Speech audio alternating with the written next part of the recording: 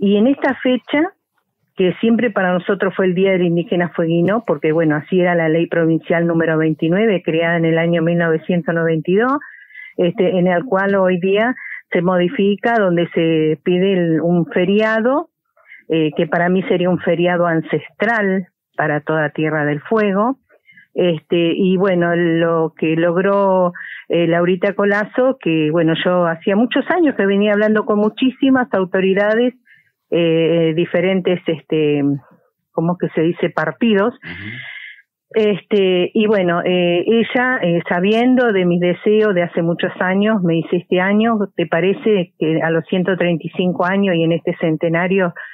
eh, pidamos lo que habíamos pedido desde el Consejo Deliberante hace un par de años. Yo había pedido en el 2016 más o menos, venía trabajando con los concejales, este, que estaba Paulino Rossi en esos años, este, para que sea día de genocidio Selnan y eh, la, bandera acá en Río Grande esté media hasta. Porque bueno, recordando que eh, la, la primer, este, el primer genocidio, la primer matanza o la masacre que se llevó este, fue acá en las costas al norte de nuestro Río Grande, ¿no es cierto?, entre San Sebastián y Punta Páramo, con la llegada de un barco eh, de la mano de Ramón Lista. Entonces, este, bueno, surgió esto y fui parte de, este texto que en la que ella me dice, decime con tus palabras cuál sería eh, lo que podíamos poner para que estemos todos de acuerdo, ¿no? Entonces, bueno, eh, fue eso, solicitar que en la provincia esté la bandera mediasta y bueno, eh, salió aprobada y ahora falta, como decías vos, la promulgación. Entonces, para el año que viene tendríamos el feriado, pero ya invitar a los vecinos que este 25 nos acompañe con la bandera mediasta. Hay mucha gente